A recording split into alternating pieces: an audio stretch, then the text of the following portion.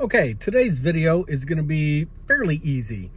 I had a customer on Facebook post a question about a weird little indicator light.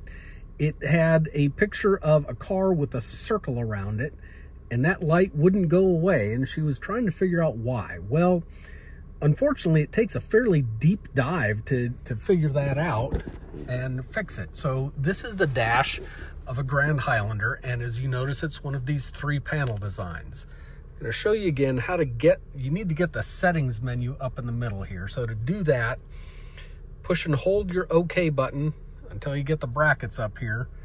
Then use your down arrow until you get to settings. Hit OK.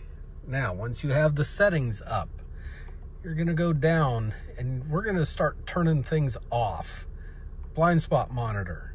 When I turn the blind spot monitor off, that little symbol pops up. So we're gonna go back. Let's turn that blind spot monitor back on. All right, pre-collision. Gotta push and hold that one. Let's turn that off. Are we sure we want to turn it off? Yeah, we're gonna do that for now. So that one turns off a different, turns on a different indicator light. That turns on that one. So let's turn that back on actually. Okay. Let's go down uh, PDA. Yeah, that's not it. Uh, parking assist. Nope, that one doesn't do it.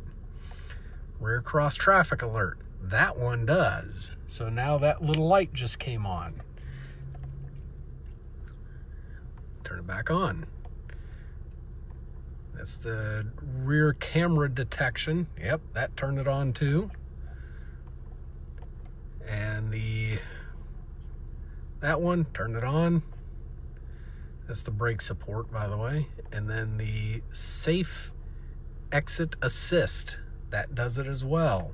So all of those, if any of those are toggled to the off position, see if road sign assist. Nope, road sign assist doesn't. Okay, so if any of the these four are turned off, you're gonna get this weird little symbol showing up and it's gonna stay there. So that's the first thing you should do to check and make sure that that is that all of your safety features are on and that little picture of the car with the circle around it will go away. So if it doesn't go away after turning all that back on, well, you need to see your dealership. So, but I'm Steve Clifford with Sheehy Toyota of Fredericksburg and Stafford, Virginia. Visit them at sheehy.com. Thanks for watching.